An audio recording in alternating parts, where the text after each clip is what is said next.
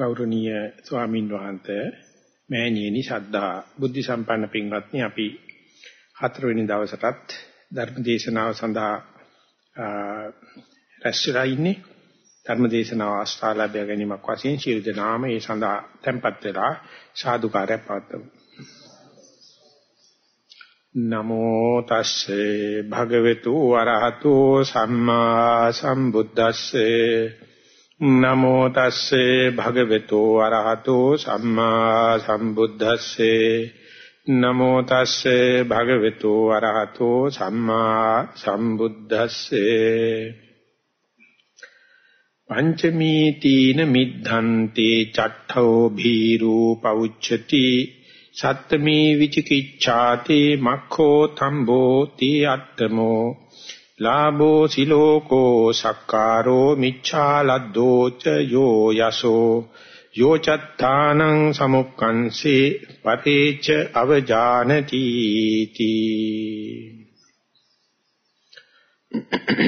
කෞරණීය ස්වාමීන් වහන්සේ මෑණියනි සද්ධා බුද්ධ සම්පන්න පින්වත්නි අපි මේ ඉදිරියෙන් තියාගත්ත මෝඝ රාජ සූත්‍රයේ ਸਰවචන් වහන්සේ මේ මෝඝ රාජ විසින් අසන ලදී ප්‍රශ්නෙට පිළිතුරක් වශයෙන් මේ ලෝකය ශූන්‍යත්වයෙන් බලන හැටි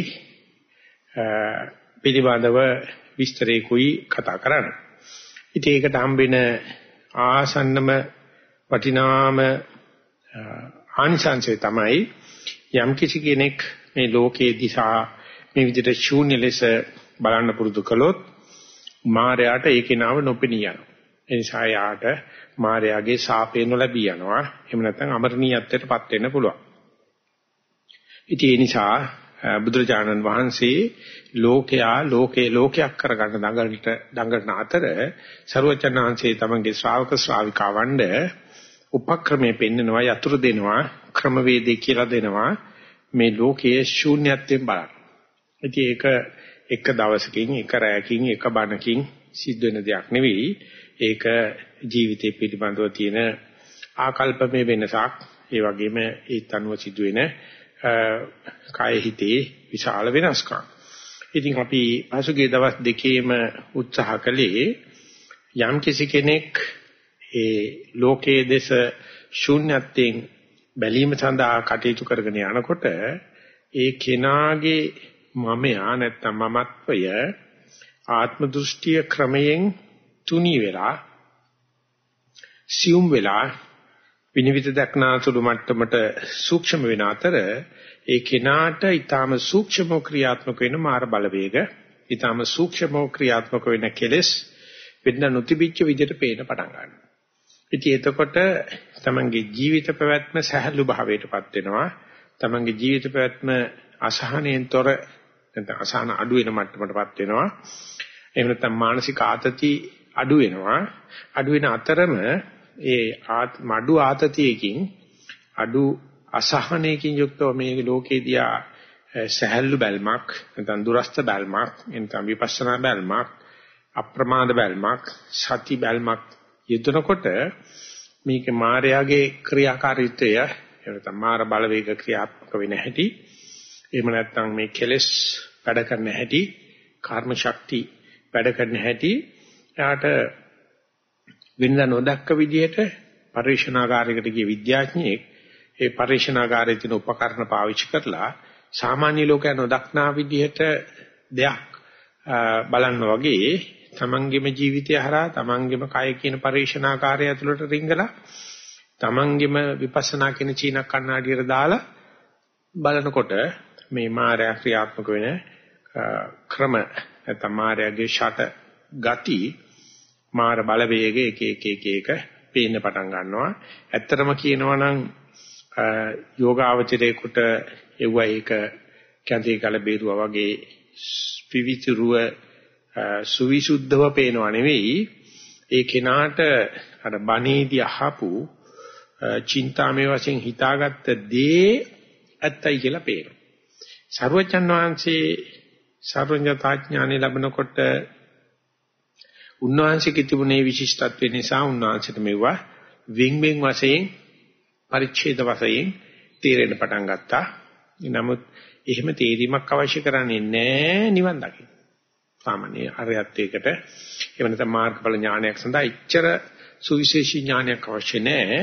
නමුත් දන්නවනම් අසුවිරු ඥානයකින් ඒක දන්නවනම් ඒ කෙනාට ඒ මාය ප්‍රෝඩා කරනකොට ඒ කෙලෙස් ඇවිල්ලා වංච කරනකොට ෂටගති පානකොට මායාවී ගති පානකොට තමයි දැනගන්න පුළුවන්.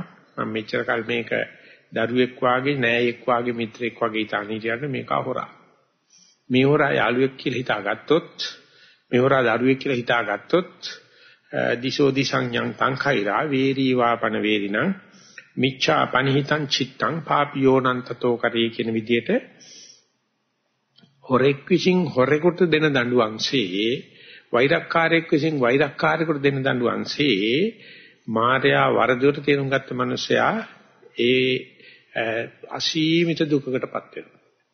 ඒක නිසා මෙතෙක්කල් මේ හොරා මගේ මම මම මගේ ආත්මය කියලා අපි හිතාගෙන හිටියේ මේ වෛරක්කාරයා මම මගේ ආත්මය කියලා හිතාගෙන හිටියේ ඒ නිසා ඒකේ නාගෙන් තෙතක් අනුකම්පාවක් බලාපොරොත්තු වෙන්න බෑ. නමුත් මේ භාවනා කරගෙන යනකොට නැත්නම් මේ ලෝකේ ශූන්‍ය වශයෙන් දැකීම සඳහා සැදී පැහැදී කටයුතු කරනකොට තමන්ට අර පට ඇරලා පේන්න පටන් ගන්නවා මෙතෙක් නিত্য වශයෙන් සුඛ වශයෙන් සුභ වශයෙන් ආත්ම වශයෙන් බාර ගැනීමේ තියෙන මුලාව මායාව මායාකතමේතම් බාලාලාපනං තුච්ඡං අනිච්ඡං කියන දේවල් වල මේ දකින්නකොට ඒ නিত্য සංඥාවේ තිබුණ දේ තියෙන නිත්‍ය වශයෙන් ගත්ත දේවල් වල තියෙන අනිත්‍යත්වය නොබලා ඉන්න බැරි මට්ටමට ඊට හැදෙනවා. මොන જાතියින් අපි භාවනා කරගෙන යනකොට මේක නිත්‍යයි කියලා කියාගන්න හැදුවත් ලෝකේ කවුරු කොහොම කිව්වත් එයාට තේරෙනවා මේක නිත්‍යයි කියලා අපි తాවකාලිකව නිකන් රහසට වගේ හිතාගත්තට කොහොම කරොත් මේක අනිත්‍යම තමයි. ඒ වගේම මේක සුඛයි කියලා හිතාගත්තට සුඛ දෙයම තමයි දුක දෙන්නේ. මධ්‍යම දෙයින් දුක දෙන්නේ නැහැ. දුක්ඛ දෙයින් ඒ වගේ දුකක් ඇති වෙන්නේ නැහැ. සුඛ දෙයින්මයි දුක දෙන්නේ. සුභ කියලා අපි අරගත්ත දේ සුභය කියලා අපි අරන් තියෙන දුකේ හට ගැනීමට. දුකේ හට ගැනීම සුභයක් විදිහටයි අපි දිගටම මෙතෙක් සලකලා තියෙන්නේ. එතකොට තියෙනවා මේක අසුභේ. නැත්නම් අපි කිව්වොත් සංසාර රෝග කියලා හතරක් බුදුහාමුදුර අපට පෙන්නලා දීලා තියෙනවා. සංසාර රෝග හතර තමයි ජාති, ජරා, ව්‍යාධි, මරණ. මේකට වෙදකම් කරන්න කෙනෙක් නැහැ. මේවා ඒකාන්තෙම බ්‍රහ්මාත්මක හිටියත්, දේවාත්මක හිටියත්, මනුස්සාත්මක හිටියත්, ත්‍රිසංඝාත්මක හිටියත්, යක්ෂ ප්‍රේත, නිරි කියන ඕනෙම ආත්මික හතරම මේ ජාති, ජරා, ව්‍යාධි, මරණ තියෙනවා. ඒ සියල්ලටම මුල ජාතිය. නමුත් කවදාකවත් ලෝකයා ජාතිය අසුභයක් විදිහට බාරගන්නේ. ඉපදීම මනාපයක් කියන සුභයක් විදිහට සලකන්නේ.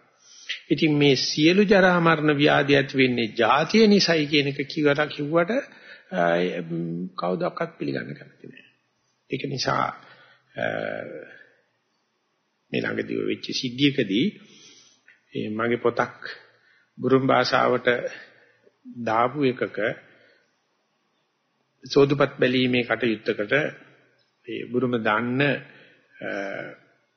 ශිෂ්ටංශ ජාතික මෑණි කෙනෙක්ගෙන් සහයෝගය ඉල්ලුවා. එතකොට මේ මෑණිට දොස්තර මහත්තයා කියලා තිබුණා තාම මාස දෙකයි ජීවත් වෙන්නේ කැන්සර් එකක්. ඊටාම දරුණු කැන්සර් එකක්. එයාගේ සෛලවල ලේ සෛලවල බිලිගහ සෛල හට ගන්න. ඉතින් ආ ඊට පස්සේ කියතුණා මම කැමැති ස්වාමීන් වහන්සේගේ වැඩේට උදව් කරන්න. නමුත් ඉන්නේ මම මේ වගේ තැනක මට ඒක ඔළුවේ නම් බරක් නැහැ. නමුත් මට ස්විස්ලන්තයට යන්න වෙනවා ලේ පරීක්ෂා කරන්න. ලේ වල පිළිකා සෛල කොච්චර හැදෙනවද කියලා. ගිහිල්ලා එන ගමන් එයා එයාපෝට් එකක තියෙන පොත්සාපුවකට ගිහිල්ලා ඉවරලා ඒකේ තිබිච්ච මේ ආප්තෝපදේශයක් ඒ මෑනින්නාංශගේ වෙබ්සයිට් එකේ පළ කරලා තිබුණා. ඒකේ කියලා තියෙනවා ලෝකයා මරණයකට හේතු හොයන්න ගියාම මරණ පරීක්ෂකෙක් වශයෙන් හෝ අදිසි මරණ පරීක්ෂකෙක් වශයෙන් නැත්නම් බෞලේ දොස්තර වශයෙන් හෝ එහෙම නැත්නම් තමන්ගේ නෑදෑයෝ වශයෙන් හෝ නැත්නම් ගමේ පාන්සලේ හාමුදුරුව වශයෙන් හෝ ඒ මනුස්සයාගේ මරණයට හේතුව පුදුමාකාර දේවල් දක්වනවා. ඒ මේ ළඟදි මට මතකයි කටුකුරුන්දේ ස්වාමීන් වහන්සේ මේකට නිදර්ශන හතරක් පෙන්නවා. උන්වහන්සේ මතක් කරනවා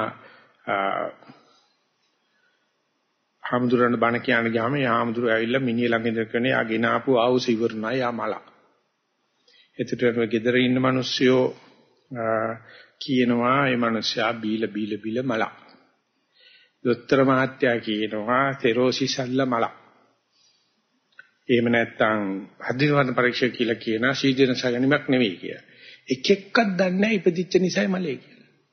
කවදාකවත් මේ තාක්කල් මරණ පරීක්ෂණ කිසිම තැනක ඉපදීමයි හේතුව කියන එක ලිය වෙන්නෙත් නැහැ ලියන්නෙත් නැහැ.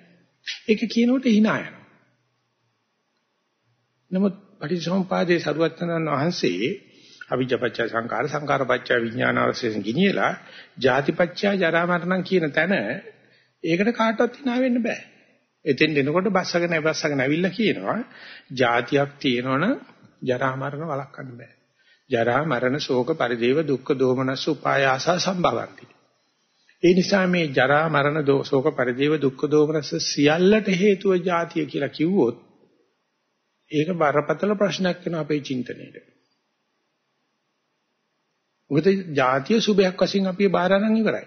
හැබැයි ජරා ව්‍යාධි මරණ ඒකාන්තයෙන්ම දුකක්. අපි පුදුම විදිහට මානවයා ජාතියක් වශයෙන් එකතු වෙලා ජරාව නැතිකරන්න ව්‍යාධිය නැතිකරන්න මරණය පස්සට දාන්න කැතපට ගහගෙන නටනවා. සර්වචන්සේ සඳහන් කළ දිනවා ජාතිය හටගත්තොත් ජරා මරණ ව්‍යාධි නැති කරනවා කියන එක කවදාකවත් කරන්න පුළුවන් දෙයක් නෙවෙයි. ඉබ්බෙකින් පිහාට බලාපොරොත්තු වෙන එක කරන්න පුළුවන්. හාවුන්ගෙන් අං බලාපොරොත්තු වෙන එක වෙන්න පුළුවන්. නමුත් කවදාකවත් ජාතිය ඇතිවෙනොත් ජරා මරණ ව්‍යාධිය ඇති වෙන කීතන් බෑ. ඒ නිසා මේ ජාතිය කියලා කියන්නේ දුකේ ජාතිය. දුක හටගන්නේ. දුක හටගන්නේ ජාතියත් එක්කම තමයි. ඒ නිසා ජාතිය සුභ වශයෙන් දැකපු දේ පේන්න පටන් අර ගන්නවා සියලු දුකට හේතුව මේ ජාතිය කියලා දැක්කට පස්සේ ඒක අසුභයක්. සුභයක් එතන නැත්තේ නෑ. ඉතින් ඒ නිසා සිතාර්ථ කෞතම සර්වචන් වහන්සේගේ දුෂ්කර ක්‍රියාවට නෑ මේ අබිනිෂ්ක්‍මණයට ඉස්සෙල්ලා පුතෙක් උපන්න කියනකොට යුද්ධෝදන රජුණගේ පැත්තේ බැලුවා නම් මහාමායාගේ යසෝදරාගේ පැත්තෙන් බැලුවා නම් රට්ටුන්ගේ පැත්තේ බැලුවා නම් අනේ රජපැටියෙක් උපන්න ඊගාට රජ වෙන කෙනා උපන්නයි. සිද්ධාර්ථ කුමාරයා කිව්ව මොකද්ද රාහු ජාතම් බන්ධනං ජාතම්. මහා මුස්පේන්තු කාලකන්ණි නොකෑමන වචනයක් නෙවිත උනේ. දරුවෙක් කිව්වනේ කියලා රාජකීය පණිවිඩ පණිවිඩේ ඇවිල්ලා ඉන්නකොට රාහු ජාතම් බන්ධනං ජාතම්. ඒක මොකාටවත් තේරුම් ගන්න. රාහු ජාතම් බන්ධන. ඒක ඇහුනේ අර කාලකන්‍යාට රාහුල කියලා. දූතේ දූතයට ඇහුනේ රාහුල කියලා ඊට පස්සේ කිව්වා රාහුල ජාතම් බන්ධනං ජාතම් කියලා කිව්වා. එනනම් රාහුල කියලා නම තියමු කියලා කිව්වේ. ඒ එතකොටම තේරලා තියෙනවා ජරා ව්‍යාධි මරණ දැකලා ගියේ හතර පෙර නිමිතිවල. ලෙඩෙක් මහල්ලෙක් මල කඳක් පැවිද්දෙක් මේකට කොහෙන් හරි කල්පනා වෙලා තිබුණා තියෙනවා මේ ලෙඩවීම මල කඳක් පැවිද්දෙක් ජරාවක් ಜಾතිය නිසා තමයි හටගන්නේ. හටගන්න හැම තැනකදීම හටගන්නේ මේ කියන දුක. ඒක නිසා හුස්මක් හටගත්තත් ආශ්වාස වශයෙන් ප්‍රශ්වාස වශයෙන් පිම්බීමක් හැකිලිමක් හටගත්තත් වමක් දකුණක් වශයෙන් හටගත්තත් හැම එකම ඉද්දිලි කැප්පිලි පීරිගෑම් චංචල කම්පන පෙළෙන තවන ගති තමයි තියෙන්නේ. ඒ ඔක්කොම නතරුනාට පස්සේ ඔන්න සුඛය හම්බ වෙනවා. හුස්ම සම්පූර්ණයෙන්ම නතරුනාට පස්සේ ඔන්න සුඛය හම්බ වෙනවා. වම දකුණ කරලා හොඳට සක්මන් කරනකොට ඒක අනායාසයෙන්ම කරන විදිහට යනකොට ඔන්න සුඛය කියන එක තේරෙනවා. අර මොන්නම දෙයක්වත් දිනකන් හැටකුණ වැටුණා වගේ කැපිලි, තැවිලි, දැවිලි, කම්පන, චංචල තමයි තියෙන්නේ. ඉතින් ඒ නිසා හට ගන්න තාක් හටගන්නේ දුකක්ය. ඒක නිසා මේවට සුඛය කියලා කියන තමයි අපිට සભ્યත්වයේ උගන්ලා තියෙන්නේ. ශිෂ්ටාචාරය අපිට උගන්ලා තියෙන්නේ එහෙමයි. පොතේපතේ උගන්වන්නේ එහෙමයි. ඉතින් නිසා මුළු ලෝකෙම විරුද්ධ වෙන්න පටන් අර ගන්නවා. මේ මිනිස්සයා සුඛයි කියන එක දුකයි කියලා බුදුහාමුදුර අර්ථකථන දෙන්නේ. ඒ නිසා යෝගාවචරයට යම් වෙලාවක ජීවිතේ සම්දිස්ථානයකදී මේක තේරෙන්නේ බුදුහාමුදුරුවෝ තේරුම් ගත්ත ක්‍රමයකට නෙවෙයි අනේ මං කොහෙදී හරි අහලා තියෙනවා මේ හට ගැනීම දුකක් කියලා. එහෙම නැත්නම් මේ නিত্য සුඛ සුබ ආත්ම වශයෙන් අපි ගත්ත දේ අනිත්‍ය දෙයක්, අසුබ දෙයක්, දුක්ඛදායක දෙයක්, අනාත්ම දෙයක් කියලා තේරුම් ගන්නවා වෙනකොට ඒ මනුස්සයාගේ තේරුම් ගන්නේ පරාජයක් පිළිගන්න විදියට. කාටවත් බෑ සතුටු සිතින් සාදරෙන් මේක පිළිගන්න. නමුත් බුද්ධ ආදී උත්තරමයන් වහන්සේලා පැත්තෙන් බලනකොට එහෙම නැත්නම් ආර්යයන් වහන්සේලා පැත්තෙන් බලනකොට එදා තමයි මේ මනුස්සයා නියම වශයෙන් මනුස්ස ජීවිත වැඩ ගන්න වෙලාව. නියම වශයෙන් සජීවී වෙන වෙලාව. නියම වශයෙන් සතිමත් වෙන වෙලාව. නියම වශයෙන් අප්‍රමාද වෙන වෙලාව. ඒ නිසා යම් වෙලාවක ඒ බාරගත් අගයන් ආඩම්බරයන් මේ විදිහට මාරු වෙන තැනට එනවයි කියලා කියන්නේ මෙච්චර ආසාවෙන් බදාගෙන හිටපු ලෝකයා ලෝකය ලෝකේ බදාගත්ත ලෝකයා ඒක ශූන්‍ය වශයෙන් දකින්න ඒක පැලිර ගියක් විදිහක ගිය එකක් විදිහට දක්වන්න ඒක භංගුර දෙයක් වශයෙන් දැනගන්න ඒක දිරච්ච දෙයක් වශයෙන් දැනගන්න ටික ටික පුරුදු මේක තමයි ප්‍රධානම පරිණාමය අපි දැන් හිර වෙලා ඉන්න තැන. මානවයා අවුරුදු ලක්ෂ 40ක් විතර අනිකුත් සීල සත්තුන්ගෙන් වෙනස් පරිණාම වෙලා හිටගෙන ඇවිදින්න පුරුදු වෙලා තියෙනවා. ඒ නිසා මනුෂ්‍යයා කියන සතාට පරිණාමයේ යම් තැනකදී තමාගෙන තමන් අවබෝධ කරගන්න පුළුවන් කියන මේ සතිය එයාගේ මනසට ඇවිල්ලා තියෙනවා. වෙන කිසිම සතෙකුට නැහැ. වෙන කිසිම යක්ෂයෙකුට ප්‍රේතයෙකුට මනුස්ස බ්‍රහ්මයෙකුට කාටවත් බෑ. ඒක පටන් ගන්න පුළුවන් මේ මනුස්ස ලෝකෙ විතරයි. ඒක දැනගත්තට පස්සේ මිනිස්සයා මේ විදියට බුදුබණක් අහලා හෝ එහෙම නැත්නම් බුද්ධ ශ්‍රාවකෙක් කියපු දෙයක් අහලා හෝ මේ ලෝකෙ මෙච්චර අල්ලවදා ගන්න දඟලලා මෙච්චර මානසික ආතතියක් ඇති කරගෙන මෙච්චර අසහනිකින් ජීවත් වෙනකොට බැලූටයක් මානක උත්තරයක් නැහැ. උග දෙනෙක් හිතාන ඉන්නවා ඒකට මේ මේ ක්‍රම වලට කෙටි උත්තර ඇති කියලා. ඇත්තේම නැහැ. කිසිසේත්ම ඒ අසහනින් නැතිකරන්න, ඒ කියන මානසික ආතතිය නැතිකරන්න, ওই කියන මානසික පීඩාවල් නැතිකරන්න ක්‍රමයක් නැහැ. ඒ නිසා මේ ලෝකේ දිහා බලන බැල්ම ශූන්‍ය වශයෙන් බලන්න ඕනේ කියලා උත්සාහ කරලා ඒක දිගේ කරගෙන යනකොට ඒ ඇති වෙන වෙනස පුනරුත්පත්ති පිළිගන්නේ නැති කර්මේශා කර්මඵල පිළිගන්නේ නැති බටහිර පැත්තෙන් විපස්සනා බලන්නේ නැත්තු කියන්නේ අපි පරිණාමයේ හිර වෙච්ච තැන ඉඳලා ඊටු ටික පටන් ගන්නවා. මේක වෙන්න ඇති සරුවචනංශේ සඳහන් කරලා තියෙන සතිපට්ඨාන සූත්‍රයේ හැමාරේ මහන්නේ මෙන්න මේ විදිහට ලෝකෙදී බලන කෙනෙකුට අවුරුදු 7කට වැඩිය භාවනා කරන්න වෙන්නේ උපරිමේ 7යි. එතකොට මෙහාට මේ දර්ශනේ පහළ වෙනවා. නැත්නම් 6මුත් පුළුවන්, 5මුත් පුළුවන්, 4මුත් පුළුවන්, 3මුත් පුළුවන්, 2මුත් පුළුවන්, අවුරුද්දෙමුත් පුළුවන්, මාස 6මුත් පුළුවන්, මාස 5මුත් පුළුවන්, මාස 4මුත් පුළුවන්. බස්සල බස්සල බස්සල කියන දවස් 7ක් හරියට කරනවා නම් මේ පරිණාමයේ Taman හිර වෙලා ඉන්න තැන මේ ලෝකේ බදාගන්න දඟලන ලෝකේ මේ බදාගත්තර කමක් නැහැ මේක පුස්සක් බව. මේක හිස් කොම්බයක් බව. මේක එන ගහච්ච තෝම් පිට්ටනියක් බව දන්නවනම් ඕකනේ එච්චර ආඩම්බර වෙන්නේ හිතෙනවා එතකොට අපිට අනාගතයක් නැති වෙයි, දරුපරපුරක් නැති වෙයි, ජාතියක් නැති වෙයි, සංස්කෘතියක් නැති වෙයි කියලා. ඔය එකකින්වත් අපේ අසහනට උත්තර නැහැ. ඔය එකකින්වත් අපිට අසහනට උත්තර නැහැ. ඒක නිසා ඔක නැති වුණාට පස්සේ මොකද වෙන්නේ කියලා අපිට හිතා ගන්න බෑ. මොකද අධ්‍යාපනය ඔක අපිට උගන්වන්නේ නැහැ. අපේ සංස්කෘතිය උගන්වන්නෙත් නැහැ.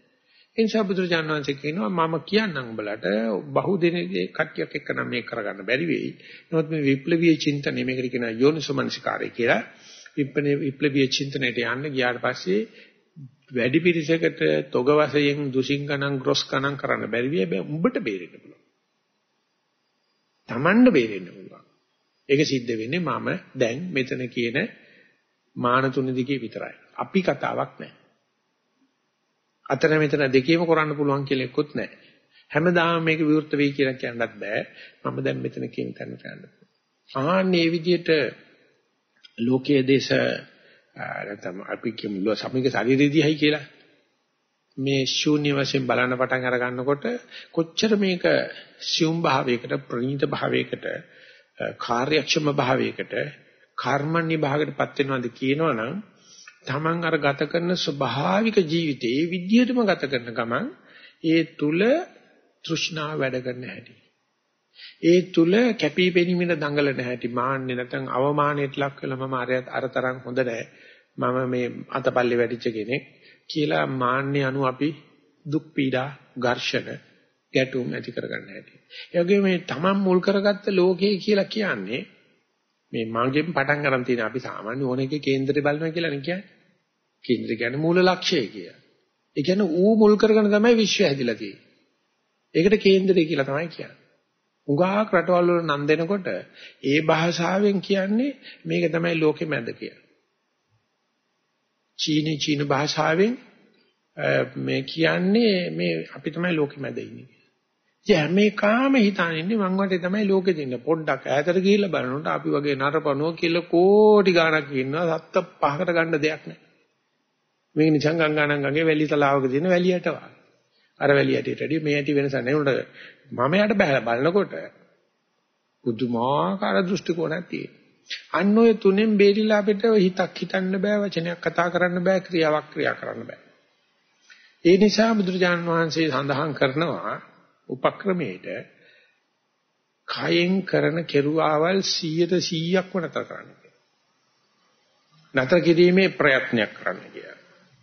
වචනයයි හෝ වචීද්්වාරේ හෝ වචනයට යටටට්ටුවේ තියෙන විතක්ක ਵਿਚාර දෙක උප්පරිමෙන් නතර කරන්න කියලා. උපරිමයෙන් 100ක් පුළුවන් නම්. ඒකට පස්සේ හිතවිල්ල හෝ හිතවිල්ල යටටට්ටුවේ තියෙන වේදනා සංඥා දෙක 100ක් නතර කරලා බලන්න කියලා. නතර කරලා බැලුවට පස්සේ Tamanට තේරෙනවා මේ ඒ ඒ මට්ටමකට කාය සංඛාර, වචී සංඛාර, මනෝ සංස්කාර සංසන්දන අඩු කරන අඩු කරන අඩු කරන යනකොට ඒ ක්‍රමයෙන් සිද්ධ වෙන්නේ අඩු කරන අඩු කරන අඩු කරන යනකොට ඒ කෙනාට මේ ඉන්ද්‍රිය හා සම්බන්ධ ඉන්ද්‍රිය ඥාන ඇහැට රූප දැකීම නිසා පහළ වෙන ඥාන කණ්ඩ සද්ද ඇහිම නිසා පහළ වෙන ඥාන නැත්නම් අපි ස්පර්ශ කියලා දැනීම කියලා එහෙම නැත්නම් නාසයට ගඳ දිවට රස කයට පහස මරණයට හා කිට්ටු කරලා නොදැනී යන්න පටන් ගන්නවා කවදාකවත් කෙනෙකුට අමාරුයි කාය සංස්කාර සංසිඳනකොට, වචී සංස්කාර සංසිඳනකොට, මනෝ සංස්කාර සංසිඳනකොට ඇස් දෙක අර බැලලා රූප බල බල කරන්න බෑ. ඇස් දෙක වහලා රූප සහ රූප සංඥා සියල්ලම ගෙවන් වෙනකම් මේක භාවනා සිද්ධ වෙන්න වෙනවා. කනේ ශබ්ද කියන එක පුළුවන් තරම් නිස්සද්ද වෙලා ඇතුළට හැරෙන්න වෙනවා. නාසයෙන් ගඳ බලන ගමන් මේක කරන්න බෑ. දිවෙන් රස බලන්න ගමන් බෑ. කයට අඩු ගානේ ආනාපානෙවත් දැනෙන්න ගමන් කරන්න බෑ. අපි කරන්නේ මොකද්ද? ඇස් දෙක වහගෙන සද්ද නැත් තැනකට ගිහිල්ලා ගන්ධ රස වැඩි හිතියව ගන්න නැතුව ඒ රූප කර්මස්ථානික ආනාපානෙ වගේ දෙයක තියාගෙන ඉන්න එකයි. එතකොට අර ඇහ කන ජීව නාසය අවලංගු කරගන්න. ඒක භාවනාවෙන් කරන්නේ. භාවනාවට කරන අනුග්‍රහයක් විදියට.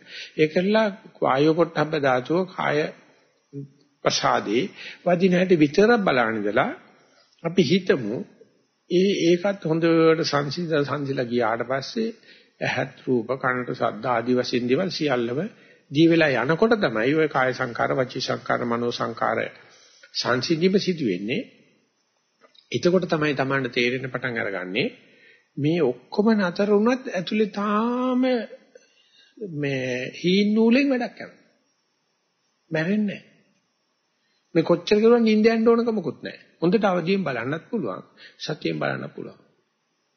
අපි හිතන්නේ නම් මේ ශ්‍රී ලංකාර කණ්ඩේ කියන නැත්නම් කයේ වචනේ හිතේ ක්‍රියාකාරකම් ශිල්පෙන් ශික්ෂාවෙන් ප්‍රයත්නයෙන් ප්‍රතිපදාවෙන් නැතර කරපස්සේ මැරෙයි කියලා.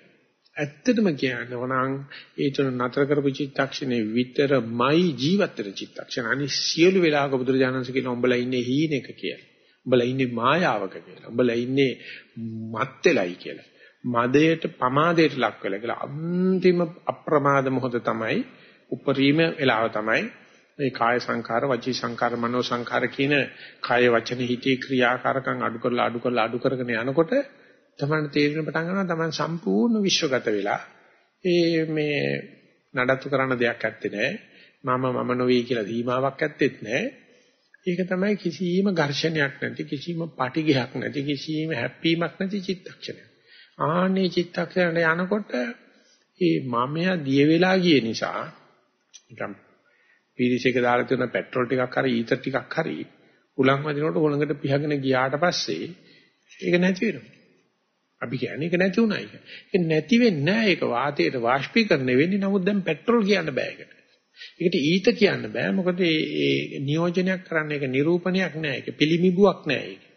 ඒක වාෂ්පීකරණය වෙලා ලෝකෙට යනවා. දැන් මේක ආවෙත් මේ පෙට්‍රල් ටික ආවෙත් උන් විසිරිච්ච ටිකක් එකතු කරලා තමයි. නමුත් ඒක හුලකට කතාගෙන ගියාට පස්සේ ඒක අර සීමාව අසවල් තැන අසවල් පිළිබිඹුව අසවල් ලක්ෂණය කියලා කියාගන්න බෑ. එහෙම නැත්නම් උදාහරණයක් වශයෙන් කිව්වොත් ගංගානන් සරවු ආදී විශාල ගංගානංගක සරබු ගංගා චිරවති ගංගා වගේ බ්‍රහ්ම පුත්‍ර ගංගා වගේ විශාල දේවල් මූදට ගලනවා. මූදේ මොයේ කටට යනකම් ඒ ගඟේ නම තියෙනවා. මොහේ කටින් එහාට ගිය ගමන් ඒ නම නැහැ. ඊට පස්සේ මේ කරදීද මිරිදීද හොයන්නත් බෑ. මේ ගංගානංගගේ වලද මොහොත වතුර හොයන්නත් බෑ. අපිට කියන්න තියෙන්නේ ගඟ නැහැ. ඊට පස්සේ මාරයාට කිව්වොත් තමයි ගංගානංගකම වියලනවයි කියලා. මුහුදට ගියාට පස්සේ මාරයාට ඒ දේ කරන්න බෑ. මොකද ගංගානංගගේ අනන්‍යතාවය නැහැ දැන්. ඒක වෙන වතුරකින් වෙන ගඟකින් වෙන මුහුදකින් වෙන් කරන්න බෑ. අන්නේ වගේ අර කාය සංකාර වචී සංකාර මනෝ සංකාර සංසිඳනකොට මායයට අපිව පිළිඹු කරන්න බෑ. අපෙන් කණෙන් අල්ලන්න බෑ. අපේ බෙල්ලෙන් අල්ලන්න බෑ. එතකොට මායයට මරා ගන්න බෑ. එක දවසක් රජ කෙනෙකුට හම්බුනාලු අපරාධකාරී. අපරාධකාරී කැහුවට පස්සේ ජූරිය කියනවලු මෙයාගේ වැරද්ද ඔප්පු වෙලා නැහැ. නමුත් රජුරවන්න සිද්ධ වෙනවා. එතකොට මරණ දඬුවම් දෙන්නත් සිද්ධ වෙනවා. ඊට පස්සේ රජුරෝ කියනවා පිටිමැදට දාලා. රාජසභා බලනින් දැද්දි විශ්නිෂ බලනින් දැද්දි ඌරෙක් පෙන්නලා උඹ අම්මා උඹ දැන් මේ මාගේ රජාණක් වෙන උඹ මේ ඌර මරන්න ඕන. මේ ඌර මරන විදිහට උඹ බරනවා. උඹ තීන්දුව කරපම් මරන්නේ. ඒ විදිහ තමයි මම උඹ තීන්දුව කරන්නේ උඹ වැරද්ද ඔප්පෙලා නැති නිසා. මම උඹට පොඩි විකල්පයක් දෙනවා. මේ ඌර මරන දාඩම මරනවා. අර මනස ටිකක් කියලා කල්පනා කරලා වලිගෙන් උසල පොළවේ ගැව්වා. දැන් රජුරවණ්ඩ වලිගයක් අල්ලන්න බෑනේ මේ මිනිහාගේ. ඉතින් මරන්න බෑ. වලිගේ තිබ්බනම් ගහනවා රජුරුත් අල්ල පොළවේ. මාරයත් අල්ලන්න දෙයක් තියෙනෝනේ මාරය අපේ මරන්න. මේ කය මේ කය මම මේක මගේ මේක මගේ ආත්මය කියන්නේ මේක දල ගන්න විදිහට අල්ලගත්තොත් මාරය දොරේ ඉඳන් පේන උට අල්ලන්න දෙයක් තියෙනවා. එහෙම නෑ මගේ මේ වේදනාව ටික මම කියාගෙන. ඒක ගන්න පාල කරුවොත් මාරය ඒකෙන් අල්ලනවා. නෑ මේ සංඥා මමත් අසවලා මට අර අර නම්බුනාමේ තියෙනවා අරකයි මේකයි කියලා තමන්ගේ හැඳුනුම්බක මහලොක් කරගත්තොත් මාළයා ඒකෙන් අල්ලනවා. නැත්නම් කෙරුවාවල් ටික මම අර වැඩේ කරලා තිනවා මම මේක කරලා තිනවා කියලා සංස්කාර ටික පෙන්වන්න පටන් ගමන් මාළයා ඒකෙන් අල්ලනවා. දැන් ඉන්නකම් මම අර ඉඩම් බෙදාගත්තා මේ කුට්ටි කඩාගත්තා කියලා විඥානේ වැඩ කරන එකෙන් අල්ලනවා. අපි මේ කාය සංකාර වචී සංකාර මනෝ සංකාර දිය කිරීමෙන් කරන්නේ මායයට අපි උස්සලා පොළවේ ගහන තියෙන වලිගේ ඇත්තටම ওই සංස්කාර තුන දෙන කට්ටියට වලිගෙ නැති එක විතරයි වෙනස. ඌරෙක්ම තමයි. වලිගෙම තමයි. නමුත් අර බුදුරජාණන් වහන්සේ අපිට කියලා දෙනවා ඌ උසල ගහපන් ඕකම වලිගෙන් උසල ගහපන් පොළවේ. ඊට පස්සේ දැන් රජ්ජුරෝ ගහන්නේ මොකෙන් අල්ලන්නේ? ආන්නේ වැඩි කරගෙන කරගෙන කරගෙන යනකොට මේ මනුස්සයාට ඇති වෙන මේ මානසික විප්ලවය තුල මාර්යා මෙතෙක් අපිව මේ මරණ චිත්තක්ෂණයේදී අපි අල්ලගන්න තැනක් අනිවාර්ය කරන්න තමයි මේ ජීවිතේ පුරාවට අපිට තණ්හාව දීලා තියෙන්නේ. ජීවිතේ පුරාවට අපිට මාන්නයක් දීලා තියෙන්නේ. ජීවිතේ පුරාවට අපිට සක්කාය දිට්ඨියක් දීලා තියෙන්නේ. ඉතින් මරණයට කලින්ම අපි මේ තණ්හාව අයින් කරගත්තා නම් මරණයට කලින්ම අපි ඔක්කොම එකයි මේකෙක් මොනම විදියකින් මේක බෙදන්න හැදුවට මේ තකතිරුකම නිසා තමයි මේ බෙදිල්ල තියෙන්නේ අපි ඔක්කොම මිනිස්සු මොකද්ද ඔක ඇති වෙනස ඒ උසස් කුල පහත් කුල නම්බු නාමකම් සල්ලි තියෙනකම් එහෙම නැත්නම් දැනුවත්කම් නොදැනුවත්කම් මේ සීරම මනුස්සත් එක්ක කෙලෙසෙන දේ මිසක් මනුස්සත්වයට ආඩම්බරයක් නෙවෙයි. අනිවාර්යයෙන්ම කෙලෙසෙන. නම්බුකාර විතර පාහර වැඩ කරන જાතියක් මම දැකලා නැහැ. පාහරයි. උගත්ති විතර අමන වැඩ කරන જાතියක් මම දැකලා නැහැ. සල්ලි තියෙන මිනිස්සු විතර જાතිය දිංගල නැති කරන જાතිය නැති කරන වැඩ කරන જાතියක් මම දැකලා නැහැ. ඒ ඔක්කොම මානසිකත්වයේ කියලා තියෙනවා. අපිට තියෙන්නේ තිබුණාට කමන්නේ ඒ ගැන මහා ලොකු ආඩම්බරයක් වෙන්න දෙයක් නැහැ. ඒක පැත්තක දෙවිත මනුස්සකම ගත්තොත් මාරට අහුවෙන්නේ නැහැ. ඒ ටික තමයි අපි මේ භාවනාදි කරගෙන කරගෙන යන්නේ මායя යමකින් අපිව අල්ලනවද? ඒ අල්ලන්න මායя අපිට ජීවත් වෙන කාලය තුල අපිව ඇබ්බැහි කරන මරණ චිත්තක්ෂණය එනකොට විසඳිච්ච නැති නඩුවක් තිබ්බනම් එතනින් මායя අල්ලන අපි ජීවත් වෙන හැම චිත්තක්ෂණයම පිරිච්ච ගතියේ හිත කරන දෙයක් අපිට ඇත්තෙත් නෑ කරපු දෙයක් ගැන පශ්චාත්තාපෙකුත් නෑ. වර්තමානයේ හොඳට ජීවත් වෙනවා නම් එnde ende ende ඊගාව චිත්තක්ෂණෙත් අපි ජීවත් වෙනා මිසක්කා ආයෙත් හටවන්න දෙයක් නෑ. කරපු දෙයක් ගැන පශ්චාත්තාප වෙන්න දෙයක් නෑ. අරයට වැඩි ලොකුයි මෙයාට වැඩි ලොකුයි කියන දෙයක් නෑ. ඒක පුරුදු කරා නම් මරණ චිත්තක්ෂණයට එනකොට අපිට අනී අහවල් දේ මට ඉවර කරගන්න බැරි වුණා.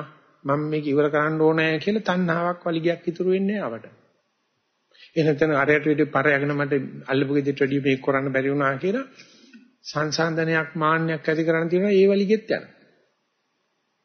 ඊට පස්සේ මමයි මිනිහා මමයි කෙරුමා. මම ඔක්කොටම මේක පෙන්ලා දෙන්න ඕනේ. අනික් කටියට වෙනකොට මට පුළුවන් ආදි වශයෙන් අර ඉස්සරගෙන ඉන්න ගතිය කිව්වොත් එහෙම අපි නිකන් නරපණුවෝ. ඔක්කොමලා එකයි. ඒකට මරණ චිත්තක්ෂණයට නඩු ඉතුරු වෙන්නේ නැහැ. ඉන්නේ ඒ தত্ত্বයේ මරණයට කලින් අත්දැකේ නැත්තම් මේ ජීවත් වෙන කාලේ අත්දැකේ නැත්තම් අනිවාර්යයෙන් මරණ චිත්තක්ෂණයට මොකක් හරි ඉවර කරගන්න බැරි වැඩක් ඔළුවට එනවා. තණ්හාවක් මොකක් හරි එනවා මට අච්චර හිතුව මට අර වැඩේ කරලා ඉන්න බැරි වුණානේ. එහෙම නැත්නම් මෙන්න මේ විදිහේ සංසන්දනේ මං අතෙන් යන්න ඉතාලිය මට ඒකට ය아가න්න බැරි වුණානේ. එහෙම නැත්නම් මේ මමයි මේක කරන්න තිබ්බේ දැන් මම මැරුණාට පස්සේ අනේ දරුවන්ට මොකද වෙන්නේ හරක්ට කවුද තනකොළ කපලා දෙන්නේ කුකුලන්ට කවුද කුකුල් කැම ගෙනත් දෙන්නේ කුඹුරට කවුද පෝර ගහන්නේ ඔයව කල්පනා කරගෙන ඉන්න වෙනමනේ භාවනා නොකළොත්. ඉතින් මේක තමයි ලෝකේ දිහා ලෝකයා ලෝකයක් කරගන්න උත්සාහ කරනවා කියලා. මේක ශූන්‍ය විදිහට බන්නවා කියන්නේ වැඩ නොකර ඉන්නවා කියන එක නෙවෙයි. ජීවත් නොවි ඉන්නවා කියන එක නෙවෙයි. තමන් මේ පිරිසුදු ජීවිතයක් ගත කරන එක මේක ආඩම්බරිකව තණ්හාවට ගන්න එපා මේක දිච්චයකට ගන්න එපා මේක මාන්නයකට ගන්න එපා නැතුව බලන ක්‍රමේ ඒ ක්‍රමය සර්වචන් වහන්සේ අපි පසුගිය දවස්වල විස්තර කරා වගේ මේ වගේ පිරිසක් වෙනකොට මේ කාමේසා කාම සංඥාවල් වෙන නැත්නම් ගෙවල් දොරවල් වල තියෙන බැඳීම් වලින් ටික කාලයකට తాවකාලිකව අයින් වෙනවා. අයින් වෙලා හිතත් භාවනා කරලා ගන්නවා ඒ දේවල් නැති කරනවා කියන එක නෙවෙයි ටික පොඩක් තලාව බලා මේ පේන ආනාපානට හිත ගත්තයි කියලා කියන්නේ අපි සෑහෙන දුරට ඒ කාමේසා කාම සංඥාවට නිසි පිළිතුරක් දුන්න తాවකාලික. එහෙම පිළිතුරු දීලා ඒ ආශාස් ප්‍රසවාසී හරි ගන්න අරමුණ දිහා ශූන්‍යතාවයෙන් බලන්නේ තනිය මට ආනපානිය හම්බුනේ කියලා නම්බු කරන්න යන්නෙත් නැතුව අනිත් මට ආනපාන සමාධිය හම්බුනේ කියලා පශ්චාත්තාප වෙන්නෙත් නැතුව ආනාපානිය නිසා මම මේ මේ ටික අයින් කරගත්තා කියන හැඟීමෙන් ආනාපානේ බලන්න හිටියොත් අපි ආනාපානේ වැඩ ගත්තාට මොකද? ඒකට දාස වෙන්නෙත් නැහැ ඒක ආඩම්බරයට ගන්නෙත් නැහැ. එතකොට මේ ආනාපානේ සියුම් වෙනවා. ඒ වෙන වෙන්න දෙයක් නැහැ ඒක. මේ සියුම් වේගන සියුම් වේගන යනකොට අපි එදා දැනගත්තා ඊයේ මතක් කරගත්තේ කාමාතේ පටමාසේනා ဒ ුතිය ආරති උච්චති චතුත් තතියං කුප්පිපාසාතේ චතුත්තම් තණ්හා කියන මාර් බල වේග හතර. ඉස්සෙල්ලාම අපිට තියෙන කාමයේ තියෙන ආශාව. අපි ඒක අබිනිෂ්ක්‍මණය හරහා తాවකාලිකව හෝ නැත්නම් ස්ථිර අබිනිෂ්ක්‍මණය හරහා ඒකට භෞතික උත්තරයක් දෙනවා. ඊට පස්සේ අරති එනවා ඉහළ ඉහළ කුසල් වලට යනකොට අධි කුසලයට යනකොට කම්මැලි වෙන එක ස්වභාවයේ බව දැනගෙන Taman දෙන පාළු ගති කම්මැලි ගති වලට උත්තරයක් වශයෙන් නිතිපතා භාවනා කිරීම නිත්‍ය කාලසටහනකට එකඟ වීම සිව්පසේ සම්බන්ධයෙන් මධ්‍යස්ත අදහස් දැරීම හරහා අපි ටික ටික ටික ටික පුරුදු කරනවා. එතකොට කුප්පි භාෂාවල වැඩිවීමක් එන්න ඉඩ තියෙනවා. මේ කැම පිළිබඳව බීම පිළිබඳව සමහර විටක අනවශ්‍ය එක්ක අනවශ්‍ය තරහක් එනවා ඒක පිළිබඳව නැත්නම් අනවශ්‍ය ආසාවක් එන්නේ තියෙනවා. ඒකට වැටෙන්න දෙන්නේ නැතුව අපි මේ කය නඩත්තු කිරීම සඳහා පිට පිට පාසා දාහනේ වළඳනකොට අපි මෙනෙහි කරමින් කරනවා නම් මේක ජවයේ පිණිස නෙවෙයි මේක මදේ පිණිස නෙවෙයි මේක මේ ඕභාසනීය පිණිස නෙවෙයි විභූෂණීය පිණිස නෙවෙයි යාව දේව ඉමස්ස කායස්ස තිතිය ආපනා මේ කය Brahmacharya රකින්න කය ඊ පවත්තන්න විතරයි මේක කරන්නේ. ඒක යැපෙන්න මට්ටමට විතරයි කරන්නේ. කැපත රෝගය කියලා අලුතින් රෝග ඇති කරගන්නෙත් නෑ. බඩගිනි කියන තිබිච්ච රෝගේ දුක නැති කරගන්නයි යන්නේ. Brahmacharya අනුග්‍රහය පිණිසයි මේ කැම කන්නේ කියලා කැම පාවිච්චි කරන මධ්‍යම ප්‍රමේයට යනවා. මේ විදිහට කරගෙන යනකොට අපි ඊයේ මතක් කරගත්තේ එතකොට අර අර විදිහට ආනාපානෙ තැම්පත් වෙගෙන එනකොට අපේ හිත පුදුමාකාර සැලසුම් ඉදිරියට ගන්නවා. අන්දේ විවේක මනසට එන సౌందర్యාත්මක අදහස්, නිර්මාණශීලී අදහස්, ප්‍රගතශීලී අදහස් එන්න පටන් ගන්නවා. ඉතින් යෝගාවචරය ඒ නිර්මාණශීලී ප්‍රගතශීලී సౌందර්යක අදහස් මගේ කියලා ගන්නවා. ඒක මම කරගන්න. මගේ ආත්මය කරගන්න ආදනවා. එතකොට වෙන්නේ මොකද? අර අච්චර අමාරුවෙන් රැකගෙන ආපු අර සතිය අරගෙන ආපු අප්‍රමාදය කොහෙන් ගියාද හොයන්න බෑ. ඒක නිසා මේ විවේක මනසක් ආවොත් ඒ විවේක මනසට సౌందර්යමත් වෙනවා. ඒ විවේක මනසට බුද්ධමාකාර නිර්මාණශීලී අදහස් එනවා. ඒ විවේක මනසට බුද්ධමාකාර විදිහේ ප්‍රගතිශීලී අදහස් එනවා. ඒක ක්‍රියාත්මක කරත් ප්‍රශ්නයක් නෑ. හැබැයි මේක ආඩම්බරයකට, තණ්හාවකට, මාන්නයකට දිච්චියට ගන්න නැති වෙන්න නම් මේක මේ පරිේශන තෘෂ්ණාවක් මේ එන්නේ කියලා. ඒ පරිේශන තෘෂ්ණාව උනන්දුව පිණිස තියාගත්තර කමක් නැහැ. නමුත් නාම්බුකාර වෙන්න, මාන්නක්කාර වෙන්න, අනුන්ට වැඩි උසස් කළ සලකන්න වගේ ගන්න නැති වෙන්න පාවිච්චි කරනවා කියන කම. මොකද විවිධ අය මේ වගේ විවේකීව භාවනා කරනකොට සමහර කෙනා අමනුෂ්‍ය බලවේග නැත්නම් මාර බලවේග නැත්නම් කෙලෙස් නැත්නම් තමන් වට කරගෙන ඉන පිරිස් විවිධාකාර යෝජනා ගේනවා. මේ එකක් මං කියන්නම් ඕන කෙනෙකුට ඕනි යෝජනාවක් ගේන්න පුළුවන් ඒක ප්‍රශ්නයක් නෑ නෝත් ස්ථිර කරන තමන් තමයි වැඩිකාරය. කිසිම යෝජනාවක් සභාවකට ගෙනාවට ඒක සභාගත වෙන්නේ නැහැ ස්ථිර කරේ නැත්තම්. සභාවල ඉන්න ඕන කෙනෙක් දන්න ඕනම යෝජනාවක් ගේන්න පුළුවන්. ස්ථිර කීමෙන් තමයි යෝජනාව මුල් බැස ගන්න. මතක තියාගන්න ලෝකයට පුළුවන් යෝජනා කරන්න විතරයි අපේ තියෙන මෝඩකමට අපි ඒක ස්ථිර කෙරුවට පස්සේ අර වගකීම් තීරම තමයි පිට වෙන්නේ. අනිත් වගේ තමයි මේ පරිේශන තෘෂ්ණාව විවිධාකාරයෙන් බලපාන. ඒ බලපාන නිසා ඒ මහසි සයිඩෝ ස්වාමීන් වහන්සේ බුරුම් භාෂාවෙන් ලියපු පොතේ උන්වහන්සේ මතක් කරලා තියෙන පළවෙනි වතාවට යෝගාවචරයා. මේ ආස්වාද ප්‍රසවාසයේ හරි පිම්බීම හැකිලිම හරි සක්මන හරි මොනවා හරි බලන දෙයක මේක හටගන්මක් තියෙනවා මේකේ. ඊට පස්සේ මේක රංගනයක් තියෙනවා. ඊට පස්සේ ඉවර වෙනවා. මේකේ තියෙන උපාදෝ පඤ්ඤායති වයෝ පඤ්ඤායති තිතස අඤ්ඤතත්තම් පඤ්ඤායති. ඒක මතු වෙනවා මතුලා රංගනයක් රංගනවා. එයාටම ආවේනික රංගනයක් රංගල නැතිලා මේක තමයි ඉතින් කෝකෙත් තියෙන කියලා දනිනකොට ඒ පුද්ගලයාට ඒ ඇති වෙන තාම පේන්නේ බොහොම ගොරෝසුවට කැදලි වශයෙන් විශාල පදාස වශයෙන් කලාප වශයෙන් පුංචි අංශු වශයෙන් නෙවෙයි. එච්චර සූක්ෂම වෙලා නැහැ හිත. මෙතෙන් ආවට පස්සේ ඒ පුද්ගලයාට එන ඒ පරිේශන තෘෂ්ණාවේ තියෙන ආදීනව පෙන්නකොට හිතෙන කියනවා ඒ කෙනාට අතීතය ගැන බලන්න ඕනේ කියලා හිතුවොත් දැන් මට පේනවා මේ හුස්ම එනවා හුස්ම නාස්පුඩු පුරවාගෙන ගිහලා නැතිලා යනවා. ප්‍රසවාසය එනවා නාස්පුඩු පුරවාගෙන පිටිලා ඉන්න නැතිලා යනවා. මේ උණුසුමක් එනවා ඒ රත් කරලා නැතිලා යනවා. සීතලක් එනවා හීතලක් කරලා නැතිලා යනවා. කම්පනයක් එනවා හොල්ලලා දාලා නැතිලා යනවා. මේක දිහා බලා ඉන්නකොට එයා අනිවාර්යයෙන්ම පරිේශන තෘෂ්ණා තියෙන කෙනා කාලමානෙ දිගේ පස්සෙන් පස්සට යන්න හිතෙනවා. හරියටම Tamanට මේ අවුරුදු 10කට ඉස්සලා වෙච්ච දේ 20කට වෙච්ච දේ ලස්සනට පේන්න පටන් අර ගන්නවා මේ වීඩියෝ ක්ලිප් එකක් ඇක්ෂන් රීප්ලේ දාලා පෙන්නනවා. ඒකට මම කියනවා යකෝ වැඩේ හරි දැන් ඕන්න මට පුබ්බේ නිවාසානුස්සති ඥානිය ආවයි කියලා අංකලත ගන්න. එහෙම නැත්නම් හිතනවා ඉස්සරහට මට මොනවද වෙන්නේ කියවම වෙන්න වගේ නෙවෙයි විචල්්‍ය සාධක හොඳට පේනවා. මේක වුණොත් මට මේක වෙන්න පුළුවන් මේක වුණොත් මේක වෙන්න පුළුවන් කියලා ගණිත ගැටලුවක් එක එක ප්‍රමේයක් යොදලා සමීකරණයක් යොදලා විසඳනවා වගේ හොඳට තේරෙන පටන් ගන්නවා මේ වගේ ප්‍රශ්නකදී මෙහෙමයි කරන්න ඕනේ කියලා. ඒ වගේම තමයි ඒක බලනකොට ඇත්ත වෙනවා. මොකද විවේකයෙන් බලන්නේ දාර තණ්හාමාන දිටි නැති නිසා අඩු වෙලා නිසා ඉතින් යාට දෙනවා දැම්මට එනං ඉස්සරහට දිබ්බ චක්කු ඥානය ඇවිල්ලා තියෙනවා යන්න පුළුවන්. එහෙම නැත්නම් ළඟ ඉන්න කෙනෙක් ගැන කල්පනා කරනවා කිට්ටුවන්ත කෙනෙක්.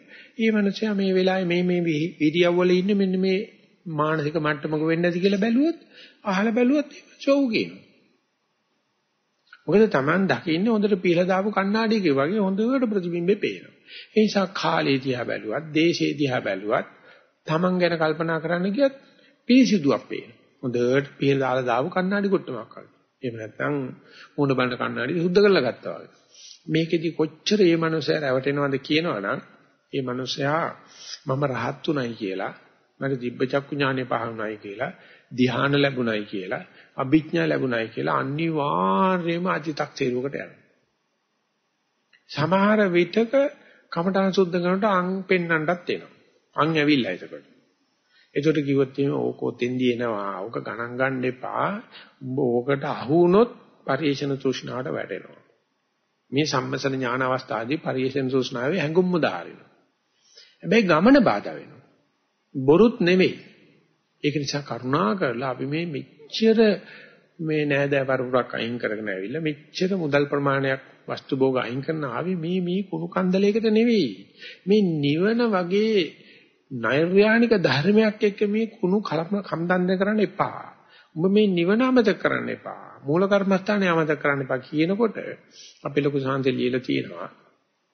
ගුරුවරයා එහෙම කියනකොට ශිෂ්‍යයා හිතනවලු අපේ ගුරුනාංශ මෙතෙන් ගිහිල්ලා නැහැ. ඒකයි ඉරිසියයි මම යනවට. ඒක නිසා මෙයත් එක කරන්න බෑ. මම වෙනම ගිහිල්ලා මම තනියම භාවනා කරලා මම දිබ්බ චක්කු ඥානෙ සුද්ධ කරනවා. මම පුබ්බේ නිවාසානුස්සති ඥානෙ සුද්ධ කරනවා කියලා ගුරුවරයා ඊර්ෂ්‍යාවෙන් මේ කියන්නේ කියලා මට්ටමට මාන්නේ වැඩෙනවා. මේ මනුස්සයා තාම සෝවාන් මට්ටමටවත් ගිහිල්ලා නැහැ. හැබැයි කෙලින්ම රහත් බව පිළින කරන මට්ටමට යන්න ඉඩ තියෙනවා. ඒකට කවදාකවත් ඒ යෝගාවචරයට දොස් කියන්න බෑ. මේවා තමයි මාර බලවේග කියන්නේ. මේවා තමයි කෙලෙස් කියන්නේ. ඒ කෙලෙස් දන්නවනම් hina යනවා. මෙන්න මේ මිනිස්සයා මට අන්දන්න හදන ඇඳිල්ල. මාව මම අපාලා අධි탁ෂීරෝඩපත් කරලා පුදුමා අටමැත දොඩවන්න ගන්නවා දොඩමෙ දෙවිල්ලක් නතර කරන්න බෑ. මොන જાතිකෝ නතර කරන්න බෑ.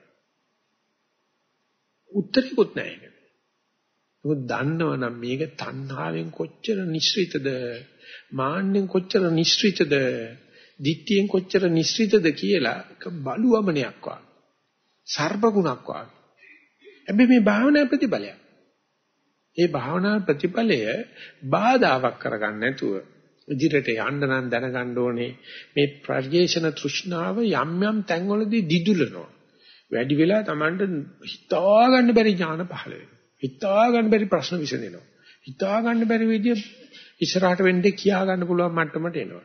මේ හැම දෙයකදීම ඒකටම උදව් කරන ගෝල බාල පිරිසක් වට වෙලා ආවඩ ආයෝ කියන පටන් ගන්නවා. ඒක ගෝලියත් ඉවරයි ගුණත් ඉවරයි.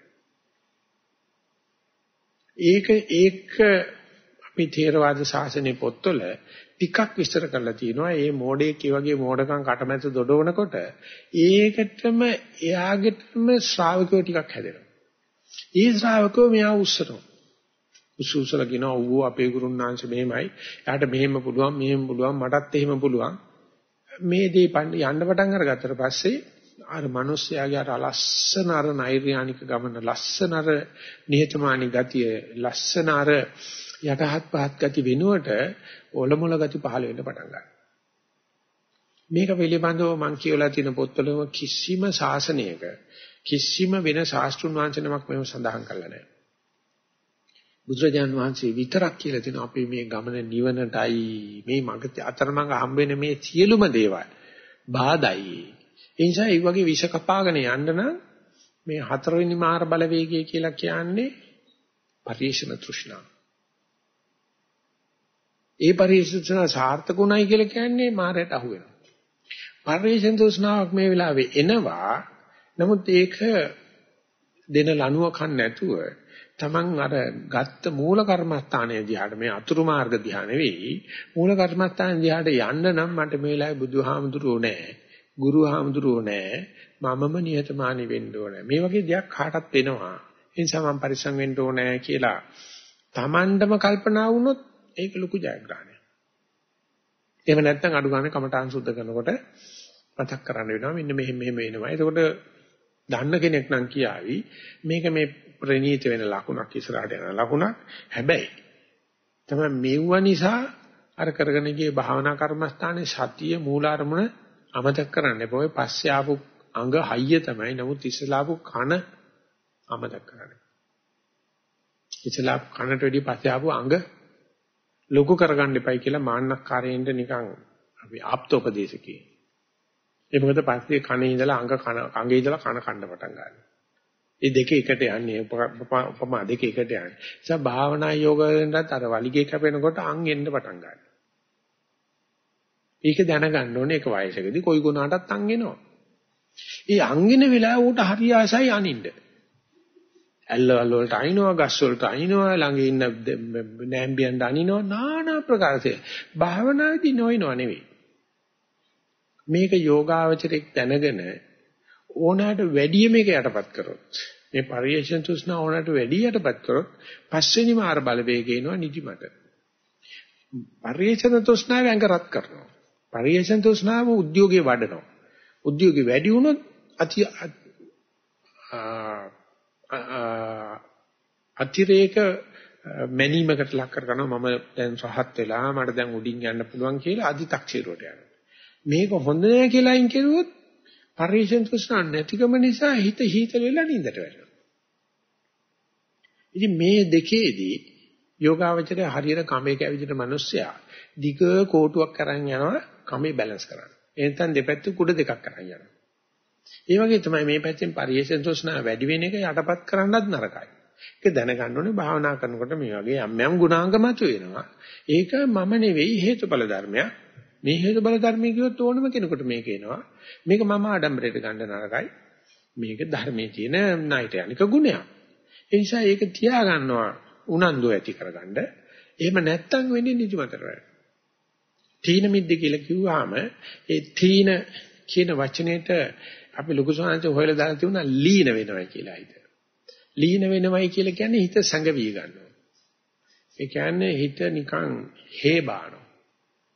අර පරිේශන සුසනවත් යට කරාට පස්සේ භාවනා කිරීමේ තිබිච්ච අර උනන්දු තල්ලුව අඩු වෙන ගතියකට යනවා. ඒක නිකන් මේ බටර් ටිකක් කරන ෆ්‍රිජ් එකට දැම්මා වගේ ඒක එහෙම ගුලි වෙනවා මිසක් අර පාන් පෙත්තක ගන්න බෑ ඊට පස්සේ. ඒක ගල් වෙන්න පටන් ගන්නවා. ඒ වගේ ඒ තීන භාවය ආවට පස්සේ කයත් අකර්මණ්‍ය වෙනවා. වැඩක් කරගන්න බෑ නිකන් ලෙඩ හැදිච්ච බල්ලෙක් වගේ මුල්ලකටලා උදියගෙන ඉන්නේ. කවදාකවත් අර සිල්ලම් කරන ගතිය එන්නේ නැහැ. ඊට පස්සේ මිද්දේ කියලා කියන්නේ එහෙම මිදිලා තමයි දන්නේම නෑ අරමුණු හිත පැත්තකට ගිහිල්ලා නිදි කියලා වැටෙන්න පටන් ගන්නවා. එතනදී තීන මිද්දය පැහැදිලිවම අර ගමන් මාර්ගයට ක්ලේශයක් වෙලා ඒ යෝගාවචරයට මේ මම දැන් ගිහි ගියාට ඇවිල්ලා ඉන්නේ. මම සීලෙක ඉන්නේ. මම මේ අනුගෙ දෙන බතක් කාලා ඉන්නේ. මම මේ වෙලාවේ භාවනා කරන්න ඕන කියන ඔක්කොම සාර්ථක වෙච්ච යෝගාචරයට විතරමයි නිින්දේ ඉන්නේ. මොනවාරි දත එකක් වුණා බඩේ එකක් වුණා කෑම හොඳ නැත්තම් නිින්දෙන්නේ නැහැ. ඒකට ඒක ගැන කෑ ගන්න. බෑනේ භාවනා කරන්න බෑනේ ඊරයට කාපුව කෑම හරිනේ බඩ නරක් වෙලා ඉන්නේ. කෑම හරි ගියානේ බුදි. ඒ නිසා මේ නින්දට කියන්නේ මහවරා කියලා.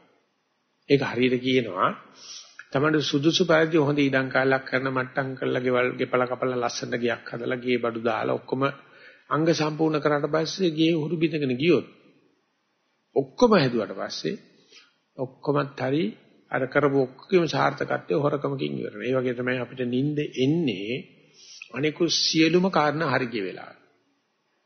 ලෙඩක් නැහැ පරියන්ක හොඳට යනවා.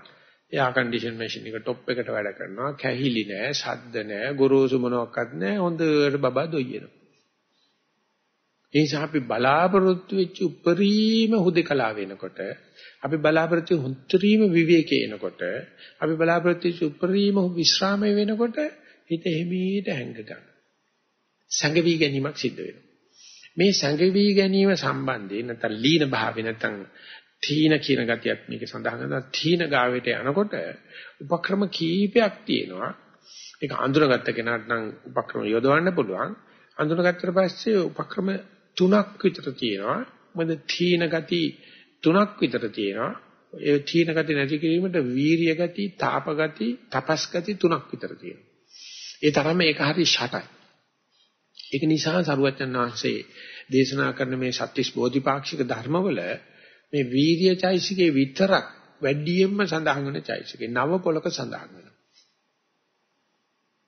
ඒක සඳහන් කරලා තියෙනවා සතර සම්‍යක් ප්‍රධාන වීර්ය විදියට ඊට පස්සේ වීර්ය බල, වීර්ය ඉන්ද්‍රිය, ඊට පස්සේ වීර්ය සම්බොජ්ජංගය, ඊට පස්සේ සම්මා වායාම.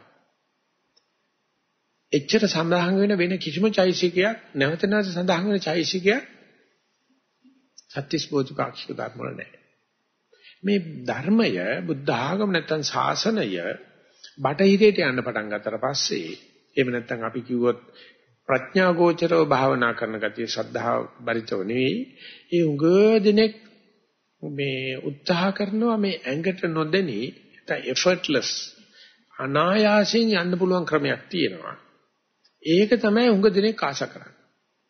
වීර්ය ගැන කතා කරනවා කිව්වහම දඟලලා මෙහෙම නිවන් දකින්න හදනවා කිව්වහම ඒගොල්ලෝ කියන්නේ එහෙම නෑ වැඩි ඇඟ තලා පෙලා ගන්න නැතුව විතර මල්ල පොඩි කරගන්න නැතුව නිවන් යන්න ක්‍රමයක් තියෙනවා අපි එනම් මෛත්‍රී බුදුහාමුදුර වෙනකන් ඉමු දැන් මේ දවස්වල බෑ මේ දවස්වල ගන්න ගන්න ටිකක් හරි දෙනවයි කිය.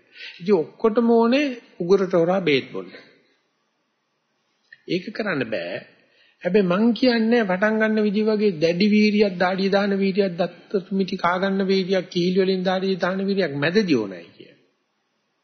මං කියන්නේ ඒ තරම්වත් වීරියක් අගදී ඕනයි කියන. නමුත් අපි යම් වෙලාවක ආය කාමයට වැටුනොත් අපි කාමයේ ඉඳලා කාම සංඥාව කාම සංඥාව නැති කරන්න යනකොට දැඩි වීරියක් අවශ්‍යයි. අපි කොයි වෙලාවෙ කාමයට වැටෙයිද දන්නේ නැහැ. අපි කොයි වෙලාවෙ කාම සංඥාට වැටෙයිද දන්නේ. ඒ වෙලාවේදී අනුකම්පා විරහිතව තාපය අවශ්‍ය කරනවා. රත් කරන්න ඕනේ මේක. රත් කළා ආයෙත් පාරට ගන්න ඕනේ. උපකම උපමාවට කියනම් පාරෙන් පල්ලෙහාට වාහනයක් පෙරළුණාට පස්සේ ඒ කාර්ක එන්ජින් එකෙන් කාර්ක වාය ගන්න බෑ පාරට. ඒකට වෙනම දොඹකරයක් වෙන්න. දොඹකරයක් ගෙනලා පාරට ගන්න විශාල ප්‍රයත්නයක් කරනවා. ඊට පස්සේ කාර් එක ඕලෙත් දාන්න ඕනේ. ඔක්කොම හදන්න ඕනේ. පාරෙන් පිට යනවා. ගිහි ජීවිතය කියලා කියන්නේ හොද හොදමඩේ දාන ජීවිතයක් නේ. දැන් මේ ඉඳලා ගියාට පස්සේ මොකද කරන්නේ? ඔක්කොම සුද්ධ කරලා ඩෝවිට දාලා මැදලා හදලා දුන්නාම ඉදිරිය ගියාට පස්සේ දැන් මොකද වෙන්නේ? කිසිම සීමාවක් නැහැ. ඒක නිසා අපිට කියන්නේ නරකයි අපිට මේ වෙලාවේ නම් වැඩි කරදරයක් නැතුව ආනපානිය හිත හිටිනවා කිව්වට ඕක බූදලයට ඉන්න වෙලා නැහැ. බුද්ධියට ඉන්න වෙලා නැහැ. ආයෙ ගෙදර ගියාට පස්සේ ආයෙ කාමයට වෙනවට පස්සේ මේක ආයෙ ගොඩ ගන්නවයි කියන එක පාරෙන් පිට ගිය වාහනයක් දොඹ කරකින් ගොඩ ගන්නවා. ඒ නිසා ආරම්භයේදී ඒකට අසීමිත වීර්යයක් ගන්නවා. ඒකට කියනවා ආරම්භ ධාතු නැත්නම් ආරද්ධ පිටිය කියලා.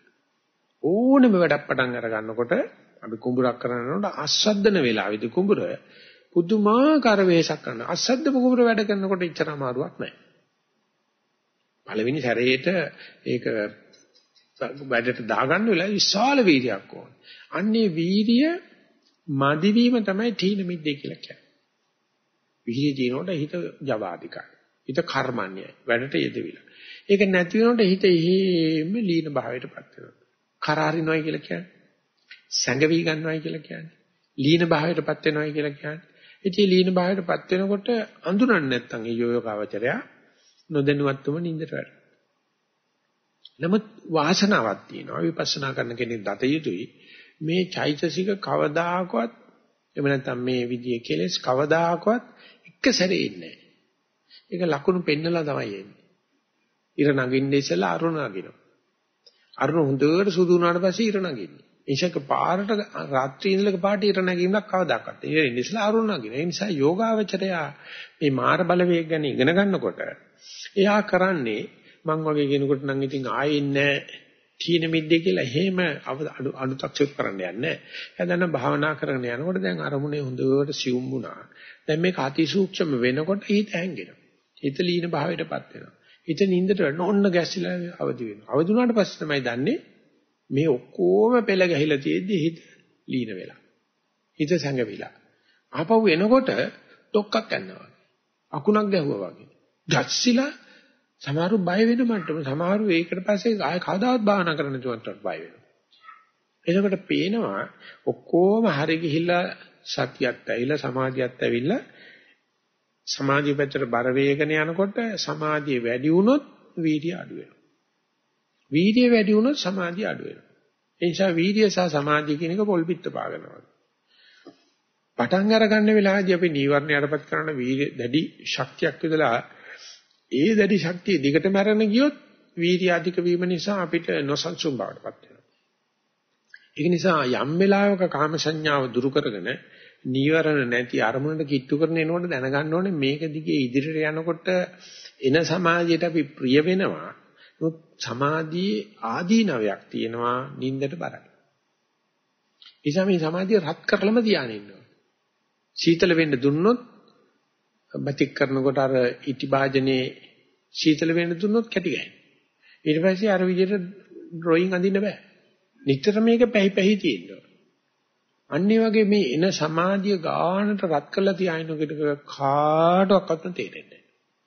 මොකද මේ සමාධියට එනකොට ඉබේම කරාරින්න හිතෙනවා. එහෙම සමාධියට ඉර දෙන්න හදනවා. එතකොට වෙන්නේ මොකද්ද? හිත ලීන භාවයටපත් වෙනවා. තීන මිද්ද භාවයටපත් වෙනවා. ඒ නිසා යෝගාවචරයාට භාවනාව හරියාගෙන එනකොට හරියාම නිසාම භාවනා හරියාම නිසාම බහල වෙන අනතුරක් තමයි නොදැන ගියොත් ඒ සමාධිය වැඩි වීම නිසා ලීන භාවයටපත් වෙනවා. ලීන භාවයටපත් වෙනකොට ඇඟ වැක්කිරෙනවා. ඉරියව පවත් ගන්න බැරි වෙනවා. ඊට පස්සේ අවදි වෙන්නේ තමයි අරමුණටම අවදි වෙනවා ලොකු ගැස්මක්. ලොකු තිගැස්මක් දීලා එතකොට ඒකෙන් යෝගාවචරය දැන් ගොඩ ගත්තයි කියන්නේ ගඩ ගත්ත තප්පරකින් ආය වැටෙනවා. ආය ගොඩ ගන්නවා ආය වැටෙනවා. එතකොට අල්ලි නිකන් ආත්ම අනුකම්පාවක් ඇති වෙනවා. බලාන ඉන්න මිනිස්සු මොනවා කියනවද හිතනවද ඇද්ද කියලා මොකද කිරනවා.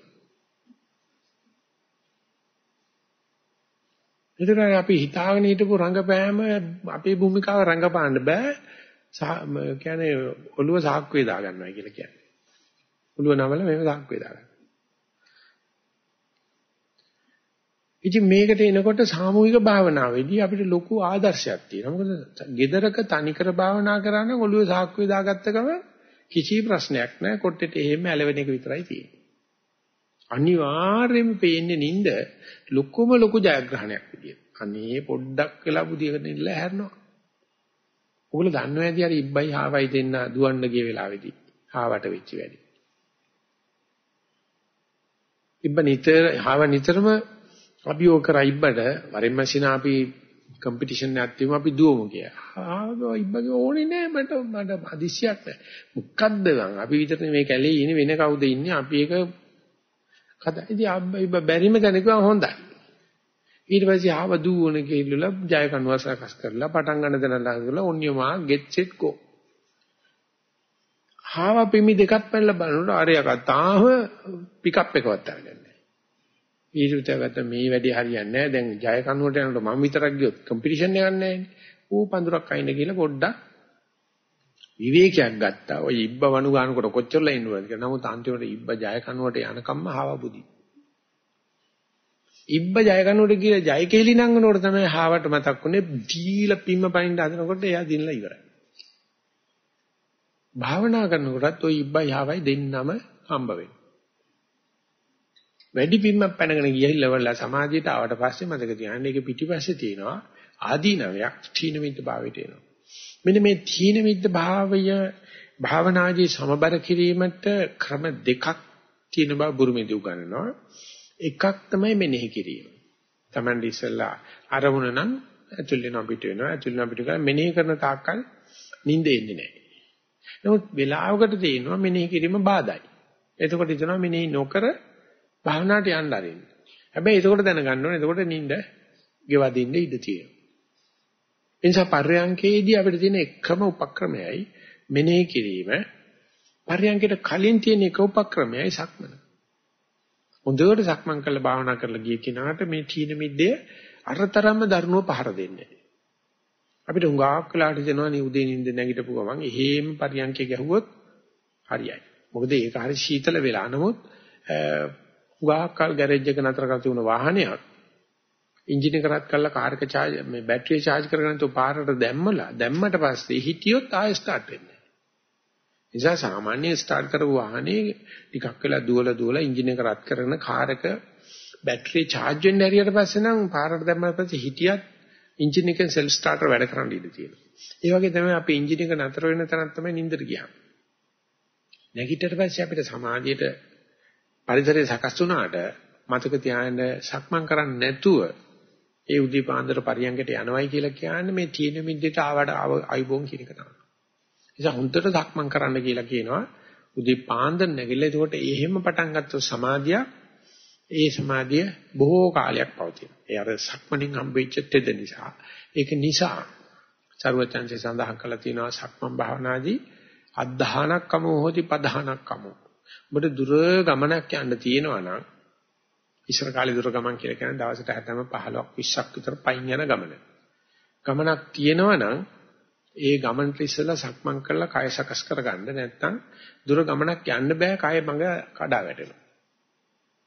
අධධාන ගමන කියන්නේ දීර්ඝ ගමන. පධානක්කම කියලා කියන්නේ මේ වගේ සංසාර ගමනේ නිවන් දකින්න තාක් නොවැටි යන්න නම් කය ශක්තිමත් කරගන්න ඕනේ. ඒ කය ශක්තිමත් කිරීමට බැටරි charge කරනවා වගේ එකක් තමයි සක්මන් භාවනාව. සද්ධානක්කම හෝති පධානක්කම. ඒ වගේම අප්පාතංකෝ හෝති අප්පාබාදෝ. කායික මානසික රෝග නැති කරන්න නම් දැන් කියන්න බෑ ඕනම එක්ස්පර්ට් වෛද්‍යවරයෙක්ගෙන් අහන්න බෑන තමයි කොලෙස්ටරෝල් ප්‍රශ්නයක් එහෙනම් heart attack මානසික පපුවේ අමාරුවක් ඒ වගේ දෙයක් තියෙනවා කියලා ඇවිදින්න කියනවා. එච්චරයි එකම ව්‍යාපාරය ව්‍යායාමේ. ඒ නිසා මේ කොළඹ මේ දවස්වල දිය තියවන්නා වටේට පාරවල් හදලා බුද්ධම ඇවිදිල්ලක් අවදියි. ඉතින් ගියාට පස්සේ මම ඇහුවා ඒතර කොටාවේ මහත්තයාගෙන් මේ ආරංචියක් තියෙන ලෙඩ වෙන ගතිය අඩුයි කියලා කොළඹ. එහෙම එකක් තියෙනවා සාන්ත ඉච්චරම ලොකු වෙනසක් නැතිලු මිනිස්සු ඇවිදින නිසා ලෙඩ රෝග අඩුයි. ඉතින් සක්මනේදී අපාතංකෝදී අප්පාබාධ. තමන්ට අල්පාබාධ මානසික කායික මානසික රෝග වලට ඉතින් මේ මේ පොඩි උන් ඇවිල්ලා දහම් පාසල් අපි දවසක් තිබ්බා. දවසක් තිබ්බ බණක් කියලා සක්මන් ගන්න එක ගෑනු දරුවෙක් කතා කරලා කිව්වා උන් කතා කරන්න ලැජ්ජයි මොකද. පළවෙනිම සාකච්ඡාවනේ. මම ඉතින් පොඩි පොඩි ට්‍රික් දෙක තුනක් සෙල්ලම් කරාට පස්සේ එකල මේක නැගිටලා මයික් එකට කතා කරලා තුරු නෑ. අනේ ස්වාමීන් වහන්සේ වැලි පාරවල අපි හැතැම්ම ගණන් ගිහිල්ලා ඇති නමුත් මේ සක්මන ඇවිදිනකොට වැලි ඇටේ ඇටේ පොළොව යට පෑගෙනකොට ඇති වෙච්ච සුවය කවදාකවත් මං කකුලේ විඳලා තිබුණේ නෑ. ඒක කිව්වට පස්සේ වැලිමලු හදපු නෝන මහත්තයා ඉසాత බැඳගෙන සාදු කිව්වා. අනේ ස්වාමීන් වහන්සේ අපි නොදැන කෙරුවට කී දෙනෙක් මේකෙන් පොරොදෙර ගන්නවද? මේ සක්මණෙන් හම්බෙන ආනිසංස. කවුරක්වත් හිතන්නේ නැහැ සක්මණ භාවනාවක් කියලා. ඔක්කොම භාවනාව කියන්නේ අතක් උඩ අතක් තියන ඇස් දෙක වහන කෙලින් බලාගෙන ඉන්න එක තමයි භාවනාව කියන්නේ. මතක තියාගන්න මේ භාවනාව හරියන්න නම් කල්ැදුව මේ රත් කර ගන්න ඕනේ. අංග රත් කර ගන්න ඕනේ. අප්පා බාධා අප්පා තංක. ආතංක කියලා කියන්නේ මානසික ආතතිය. ආබාධ කියලා කියන්නේ කයේ තියෙන ආබාධ. මේ දෙක නැති කරන සක්මන් කරන්න. අසිතේ පීතේ කායිතේ සාහිතේ සම්මා පරිණාමං ගච්ඡති. Taman කෑවනම් යමක්, Taman බිව්වනම් යමක්, Taman ලෙව කෑවනම් කරව ලස්සනට දිරනවා. දිරවනවා. එහෙම නැතුව කාපු ගමන් ගිල බුදිය ගත්තොත් කාපු ගමන් ගිල හිඳගෙන ඉන්න වැඩක් කළොත් දැන් කාපු ගමන් පොල් ගස් නගින්න පටන් ගත්තොත් පීනන්න ගියොත් ඒ සෑම දෙයකින්ම කියනවා කාපු ගමන් ඉඳගත්තොත් මහත් වෙලා කලින් මැරෙන. කාපු ගමන් පොල් ගස් නගින්න හරි දුවන්න හරි ගියොත් ඒ ආතමාන වේගෙන් මායя පිටිපස්සෙන් එනවා. කාල අඩු ගානේ පැය භාගයක් අසක්මන් කරන්න. ඒකදී බණ ඉවර කරන්න ගොඩක් තියන කියන තියෙනවා බණ ඉවර කරන්න කියලා hina වෙන්න ඕන නිසා මම කියන්න. hina වෙන්නත් නැහැ. ඒක කාරණාවක් තියෙනවා. ඔය මේ වාග්බට කියලා පණිවරෙක් ඉඳලා තියෙනවා ආයුර්වේදයේ ත්‍රිමූර්තියේ. එයා කලියේටලා ගහක් මුල කරබනේ විවේකීව ඉන්නකොට ඒ ගහ උඩ මේ ධන්වන්තරි කියලා පක්ෂියෙක් කෝරුක් කෝරුක් කෝරුක් කෝරුක් කියනවා. ඉතින් වාග්පඩ පණිතුමා දන්නේ වෛද්‍ය ශාස්ත්‍රය විතරයි. ආයුර්වේදය කල්පනා කරපුවා මේ අරදලු කෝ අරුක්. කවුද ආරෝග්‍ය කියලායි මේ කුරුල්ල මගෙන් අහන්නේ. කියලා හිතවලු එයා ඉතින් කුරුල්ලට උත්තරයක් දෙන්න ඕන කියලා හිතබුක් මිතබුක් සෝරුක් කිව්වලු. Tamanta හිතවත් ප්‍රත්‍යාහාර ගන්න ඒ වගේම රුචි ආහාර ගන්න එකන තමයි මම කියන්නේ සෞඛ්‍ය සම්පන්න කෙනෙක් කියලා දැන් බාග්බඩ පණිතුමා කුරුල්ලට උත්තරයක් දුන්නාලු. හිතබුක් මිතබුක් සෝරුක් කියලා. කුරුල්ල දිගටම කෝරුක් කෝරුක් කෝරුක් කියන ඉතින් පණිතුමා හිතාගත්තලු මූ මගේ උත්තරේට සතුටු නැහැ කියලා. ඊට පස්සේ කිව්වලු හිතබුක් මිතබුක් පරිණතබුක් සෝරුක් කිය. සෝරුක් සෝරුක් සෝරුක් කියලා කුරුල්ලයි කිල්ල ගියා. හරි ඒ ගාම මේ සොලෝකේ කොලේ ලියාගත්තලු හිතබුක් තමන්ට සෞඛ්‍ය සම්පන්න සප්පාය ආහාර වළඳන්න. දැන් රුචියව වළඳන්න. පරිණත බුක් කියලා කියන්නේ ආහාර දිරවන්න පරිණාමයටපත් වෙන්න ව්‍යායාම කරන්න. ඒ මනසයා සෞඛ්‍ය සම්පන්න. ඒ ව්‍යායාමයට අපිට බුදුහාමුදුරුවෝ කියලා දුන්නේ සක්මන. සක්මන කරනවා නම් කාපු බත හොඳට දිරවනවා. ඒ වගේම ශරීරයට සමබර ව්‍යායාමයක් හම්බ වෙනවා. පියවරක් තබනකොට හැම ශෛලියක් පාසම හැම කලාපයක් පාසම ඉඳුරක් පාසම පොඩි කම්පනයක් දෙනවා. ඒක නිසා වසාග්‍රන්ථි වල හොඳ ක්‍රියාකාරීත්වයක් වෙනවා. ඔක්සිජන් වල හොඳ ඕමාරුවක් වෙනවා. අපද්‍රව්‍ය පිරිවීම හොඳට සිද්ධ වෙනවා. නමුත් ප්‍රශ්න වෙලා තියෙන්නේ අපිට සක්මන් කරන්න වෙලා නැහැ වැඩ. ඒකමල ඉක්මනට මැරෙන්න වෙලා තියෙනවා. ඉක්මනට පොලිමේ කියලා කොලෙස්ටරෝල් වලට වෙහෙත් කරන්න වෙලා තියෙනවා. අර දිනයකට වෙලා නැහැ. නමුත් මේ මේ සක්මන එහෙම නිකන් හුදු කායික සුවේ සඳහා විතරක් නෙවෙයි භාවනාවකට තීන මිද්දේ නැති කිරීමේ ලොකු ආනිසංශයක් දෙනවා. ඒ වාගේම සරුවත් chance සඳහන් කරලා තියෙනවා චංකමාදිගතෝ සමාධි චිරට්ටිතිකෝ හෝති. සක්මනේදී අපිට යම් කිසි සමාධියක් ඇති කරගන්න පුළුවන් නම් ඔය පරියන්කේ තියෙන සමාධිය ඇද්ද කරපුවම කැඩලා යනවා. සක්මනේ සමාධිය ගන්නෙම සක්මනත් එක්ක අරගෙන. සක්මනේ සමාධිය ගන්නෙම ක්‍රියාශීලීව. ඒ සමාධිය පරියන්කයට ගියාම වැඩි වෙනවා මිසක් අඩු වෙන්නේ ඒ වගේම ඉදිරියෙන් වැඩක් කරනකොට උනත් ටික සක්මන්ලගි කරලා ගියාට පස්සේ සමාධිය yaadෙනවා. ඒ නිසා ඒ සක්මන තමන්ගේ ජීවිත චර්යාවේ අනිවාර්ය අංගයක් කරගත්තා. මම නිකන් සාමාන්‍යයෙන් කියපුවම කියන්නේ ගියක් හදනකොට ගුණ නිර්මාණ ශිල්පයට කියන්නේ සක්මනක් දාන්න කියලා ගේ මේ ප්ලෑන් එකට. එහෙනම් ඒ මිනිස්සුන්ට බ්‍රහ්මගේ බ්‍රහ්ම මණ්ඩපයක් හම්බුනා වගේ දීර්ඝ ආයුෂ ලබන්න පුළුවන්. අඩු ගානේ දැන් මේ ගෙදරක තියා පන්සලකවත් දැකලා තියෙනවද සක්මන? ලවුඩ් ස්පීකර් එකක් නම් තියෙන්න ඕන. බෝධින්නාංශ කෙනෙක් තියෙන්න ඕනේ බෝධි පූජා කරන්න. සක්මන නම් ඕකෙත් නැතුවත් ප්‍රශ්නයක් නැහැ. ඒක නැති වුණොත් වෙන්නේ මොකද්ද මේ තීන මිද්දේ වගේ මාර් බලවේගයක් ඇවිල්ලා කෙලෙසයක් ඇවිල්ලා අර ලස්සනට හදාගෙන ගිය ගියේ හොරු ගත්තා වගේ අර සමාජය ඇදලා දානවා තන්නේ කර සීතල වෙච්ච හොරකමකට ලක් වෙනවා. ඒ නිසා මේ යෝගාවචරයට ඊට පස්සේ හරි පශ්චාත්තාවයක් එනවා. අච්චර ලස්සනට උපයාගත්ත දේ හොරු කඩාන ගියා වගේ.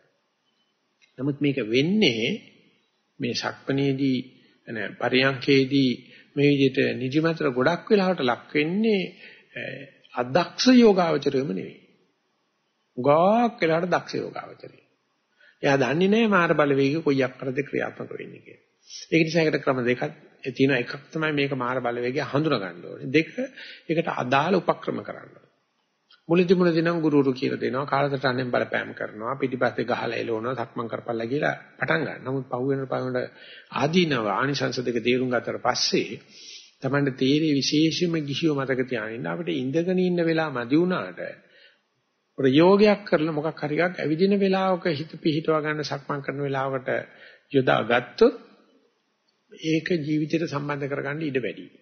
කොයි හරි යන ගමනකදී හරි කමන්නේ නැත්නම් ඊවිනිං වෝක් එකක් කරන වෙලාවක හරි කමන්නේ සක්මන ආරූඪ කරගන්න පුළුවන් නම් ප්‍රශ්නේ තියෙන්නේ මේකයි සක්මන සඳහා සක්මන කරනවා දැක්කොත් කට්ටි හිතන්නේ ලව් එකක් අප්සෙට් ගිහිල්ලා බිස්නස් අවුත් වෙලා අල්ලපු ගෙදරත් එක තරහ වෙලා ඒ නිසා තරුණ තරුණියන්ට හරි අමාරුයි සක්මන් කරන්න. මොකද කවුරුවත් දකින්නේ නැහැ ඒක මේ සෞඛ්‍ය සම්බන්ධ ආධ්‍යාත්මික වැඩක් කියලා. මේක දැන මේ යහට මෙහාට යනකොට වයර් මාරු වෙලා කියලා හිතෙන්නේ. මේ සර්කිට් එක අප්සෙට් ගිහිල්ලායි කියලා. පරියන්කයක් නම් කාමරේකට ගිහලා දොරක් වහගෙන හරි කරත හැකි. ඉතින් ඒක නිසා මේ වගේ තැන් වලට ආවට පස්සේ නිසින්ින්ද දක්මන් කරත හැකි. දක්මන් කලේ ආනිසංස ලබා ගත්තොත් කෙලින්ම හම්බ වෙන ආනිසංසය තමයි අර නින්ද පරියන්කේදී ඇති වෙන කඩා වැටෙන ගතිය ටික ටික ටික ටික දී කරලා හරින්න. මං කියන්නේ 100 100ක් උත්තරයක් හම්බ වෙනවා කියලා. මොකද මේ මායя කියන්නේ එහෙම එච්චරම එකපාරෙන් තලන්න පුළුවන් කියන්නේ නෙවෙයි. මේ කරගෙන යනකොට වීරිය මට්ටම් තුනක් ਸਰවඥාන්සේ දේශනා කළා දෙන කියලා මම මතක් කරා.